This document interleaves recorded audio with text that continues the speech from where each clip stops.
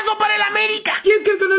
Mediocampista de los Diablos Rojos del Toluca, podría llegar al Cuapa. Otro más que tendría pasado chivista y se va a las águilas. La neta es un mediocampista que en lo personal, como Diablo, no me gusta mucho. Se me hace con mucho talento, pero medio huevón. Cuando quiere juega y cuando no, no. Si se lo llevan, creo que la neta le convendrá al Toluca. Ahora, ¿qué es su ventaja? Pues que no ocupa plaza de extranjero. Lo que me deja varios interrogantes. Si llega el actual campeón, ¿tendría cabida? No lo sé, déjenme en los comentarios. Una y Bilbao podría llegar a la América. Lo acuerdo entender que parece inminente la salida de Igor Lichinowski. Y es que claro, si llega un extranjero, pues tendría que desocuparse un cupo. Tal vez Tigres lo quiera de vuelta porque ya dijeron que es del agrado de Paunovic. Ahora, ¿sería un fichajazo? Yo creo que sí, incluso mejor que Lichinowski, no sé, los de los comentarios. Jordi Cortizo a Chivas. ¡Qué bombazo prepara el Guadalajara, o eso parece! Sabemos que Monterrey no tiene mucho protagonismo, así es que ya lanzaron una oferta formal al equipo de rebaño sagrado por 7 millones. Según el jugador, ya dijo que sí, no ve con malos ojos llegar al rebaño y ser más protagonista. ¿Qué falta? Pues que las directivas se pongan de acuerdo. Y ahora sí, después de que Chivas estaba trayendo puro cascajo, pues creo que ahora sí va en serio. Al menos uno medianamente interesante. Ahora me pongo a dudar porque hace unos cuantos minutos Cortizo modeló la nueva playera de Monterrey. Pero bueno, eso no tiene nada que ver. La neta, si Chivas se rifa con este fichaje, vaya bombazo.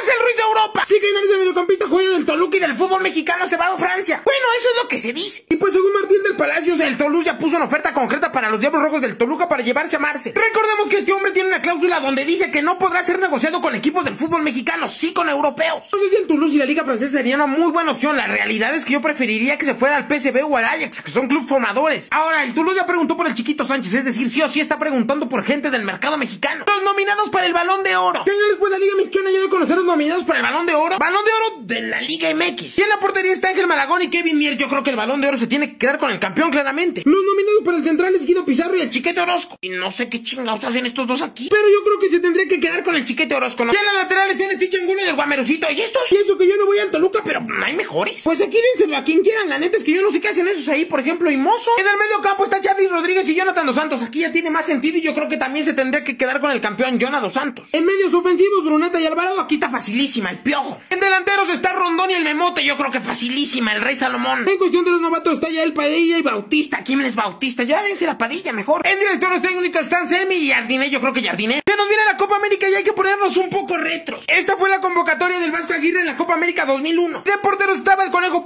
Osvaldo Sánchez y el Grandote Martínez. ¿Alguien se acuerda de él? Luego en los defensas estaba Rafita Márquez, Manuel Vidro, Heriberto Morales, Ignacio Hierro, Alberto Rodríguez, Octavio Valdés, el Tavo Valdés. Si se dan cuenta, llevamos solamente uno en Europa, Rafita Márquez, el Kaiser. En el medio campo está Gerardo Torrado, Ramoncito Morales, Joaquín Reyes, Alberto García Aspe, Joaquín Rodríguez, Juan Pablo Rodríguez, y Fredo Mercado y Cesario Victorino. Otro más que está en Europa, nada más está Gerardo Torrado en el Tenerife. En los delanteros está Miguel Cepeda, Jesús, el Cabrito Arellano, Daniel Osorro, Jared Borghetti y Antonio de Nigres de Monterrey.